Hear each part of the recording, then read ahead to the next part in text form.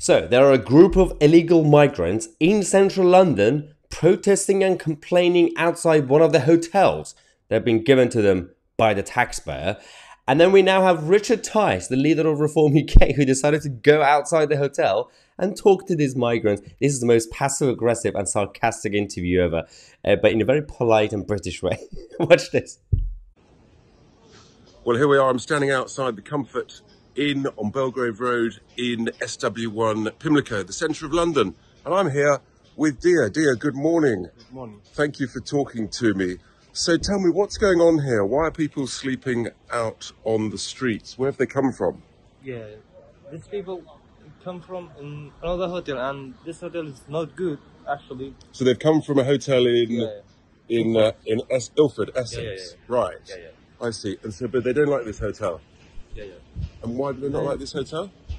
This hotel is not good really. Have a, too much smell and Too much room- smell. Yeah, and room is very small. They wanna. Oh, too, uh, the room is too small. Oh no.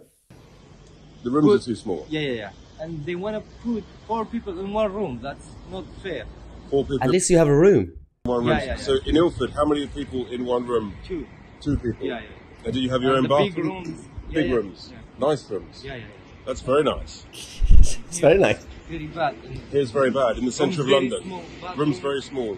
Bathroom too small. Yeah, too much. I'm so sorry So bad, so bad. about that. That's really really shocking that the bathroom is too small. but do you get nice food here? Yeah, no, food is bad. Food is good. Yeah, yeah, yeah. So you're happy with the food. That's nice. or we, maybe we'd get you better food. Would you like better food? Yeah, it's fine. It's fine. Food's, food's okay. Okay. And what about uh, you get mobile phones? Do you get, you get they give you a phone? Phone? Yeah, you get a mobile phone? No, no. No, no phone. No phone. But you Ah. have Wi-Fi. Yeah, yeah. You have Wi-Fi. Wi-Fi, but Wi-Fi is it Weak, good or, or too bad Wi-Fi? Yeah, Shocking. yeah. I'm so sorry. I love that. Oh, shock. I'm so sorry. We should get you better Wi Fi.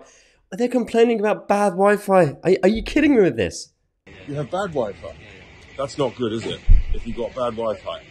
And uh, how long have you been here? You've been on the streets here for how many days? this is two days. Two days people, here. yeah, 40, 40 people, Forty people. four zero, yeah, Right. Staying this road. You know, Yeah. it's very bad. Maybe people sick.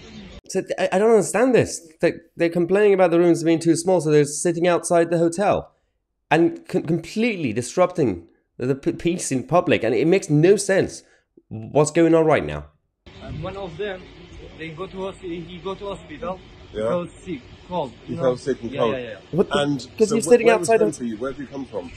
yeah. Um, come from yeah, You come from Iraq. yeah, yeah. And you've been here how many years? Two years. You've been here two years, living in uh, Ilford in Essex. Okay. And who's been paying for you? You get you get a weekly um, allowance. They, they, the, the government give you a little bit of weekly money. Is that right? Give eight pound for one week, and in here, this area, everything is expensive. Everything's expensive. Yes, Yeah. I'm so sorry about that. It's central London. It's it's an expensive city. can't It's one of do You don't have to be there. I don't know. the nothing biggest. You for can't. one week. Yeah, eight pound. So you get eight pounds a week, Yeah, yeah, yeah. plus food, plus accommodation. To be fair, if you get food and accommodation, then you know eight pounds it's probably okay. If, if you're just waiting for your application to be sorted, it's probably cheaper to go back to France, I guess, at this point. You get free Wi-Fi, but the Wi-Fi is a bit slow. I'm sorry about that. Uh, we'll try and see if we can help. And uh, you've been here two years, and who's been paying for this? Ah, Government. Government. And who pays the government? It's the British taxpayer. Yeah. So it's it's it's all of us.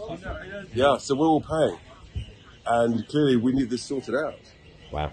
I mean, this many people will be quite happy to be in central London, wouldn't they? Yeah, yeah. Oh my god.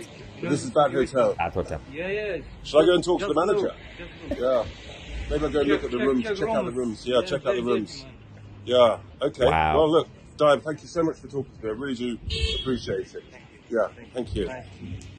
I mean, it's astonishing what's happening right now in our country. It's absolutely crazy. So we, we have British people right now waiting for housing on the waiting list. Uh, they're homeless. They're hungry. The, the inflation is still high. The cost of living crisis obviously is still going on. But now we have this problem, and people might look at this and be like, oh, it's only eight pounds. It's not really just eight pounds, is it? Firstly, how many migrants do we have? Secondly, you got the cost of the hotels. You've got the cost of the food that they have and everything else on top of it and security and all this around it. And now we are thinking that, well, what we should do, if you listen to Jeremy Hunt, for example, well, we need more migrants in this country. So well, we'll, we'll just bring in more economic migrants and we're just going to hope for the best that they will contribute more than they'll take back. And now we have the cost of illegal migrants. And there's a massive backlog. And Rishi Sunak's policy is to simply go through the backlog and then more people will come in and more people will be processed. Keir Starmer's policy idea is to call Macron and say, "Can you please stop sending your people here?" As if he's going to say, "Yes, yeah, I'm going to go arrest all the people smugglers." British people here, we're still spending all this money, our money, on this project, and we're going to have the election.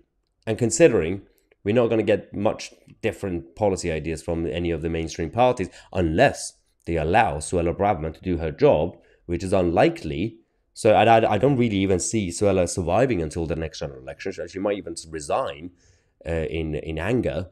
But can Rishi Sunak actually sort this out? Do they actually want to sort it out? I don't know. Let me know in the comment section. I'm Mahyar Tousi, and we are the media.